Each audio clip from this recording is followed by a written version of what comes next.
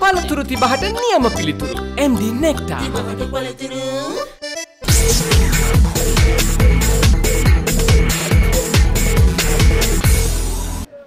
ඔයා ඉස්කෝල යනවද? ඉස්කෝල යන්නේ? අධ්‍යාපන ශේත්‍රයේ වඩා පණ වෙලා ගන්න ඔන්න ඕක තමයි. ඇයි ඉස්කෝල යන්නේ නැත්තේ? මං ඉගෙන ගන්න නෑ ඉගෙන ගන්න නැහැ තාම ඉගෙනගෙන නෑ. මුකුත්ම දන්නේ නැහැ අයන් ආයන්නවත් දන්නේ නැහැ අයන් ආයන්නවත් දන්නේ අකුළු ලියන්න දන්න. දන්නේ. බලන්න පොඩි වයස වයස චූටි බබාට? බබා?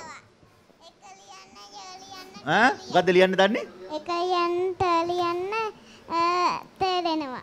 එක ලියන්න ට ලියන්න තේරෙනවා නේ එකට එකට. එකට. බලන්න කොච්චර හොඳයිද කියලා. ඔයා ඔයා මොන්ටිසෝරි යනවද? පෙර පාසල් යනවද? නෑ. ඒ යන්නෙත් නැහැ ගෙදරට වෙලා ඉන්නවා. ගෙදරට වෙලා මොකද කරන්නේ වෙලා සින්නම් කරනවා. සිල්ලං කරනවා නේ වාසනාවක් නේද අපිට බලන්න එහෙම මේකක් තියෙනවද? ඉතින් දැන් තාත්තා රැයට ඇවිල්ලා සින්දුවක් එම කියන්නේ නැද්ද? ඇයි? මේ ඇයිල්ලා හ්ම්. හැබැයි රිංගක් රෑ වෙනකොට කියන සින්දුවක් කියන්න. තාත්තද? මොකද්ද?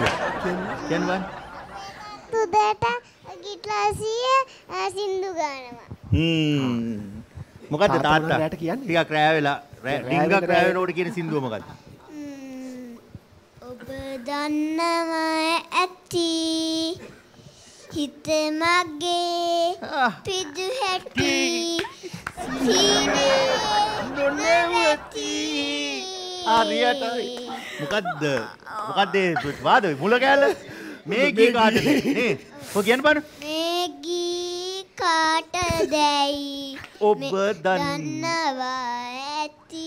අම්මා කියන්නේ? අයියෝ අදත් පටන් ගත්තා. අම්මා එහෙම කියනවද? අම්මා මොකද කියන්නේ? අම්මා මොකද කියන්නේ සින්දුව කියනකොට? කියන්නේ. නේ ඕ, අදත් පටන් හදන්න බෑ. මේ දරුවෝ ඩිලි කරවන්න ඕනේ ඉක්මනට නැත්තම් උනුත් මේව එහෙම කියනවා. දැන් තුඩු පුතා අපි දොයියෝ අපි දොයියෝ. තාත්තයි දොයියෝ. එහෙම කියනවද? නෑ. ඈ? නෑ. එහෙනම්? අම්මා නම් ඒකට මොනවත් කියන්නේ කේන්තිය වගේ මූණ දිහා බලලා ඉන්නවා අදත් පටන් ගත්තා ඉතින්. පේනව නේද? එන්නනේ නෑ, ඔයත් නෑ, එක්ක. නෑ, බ්‍රේක් එකට යන්න. සිත මගේ අපි දෙන්න මේ බ්‍රේක් එකකට යන්න ඔය සින්දුව කියාගෙන.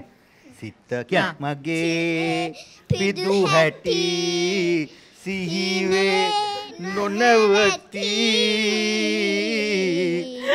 මේගී. කියලා මේ දරුවෝ නිදි කරවන්න මං එන්න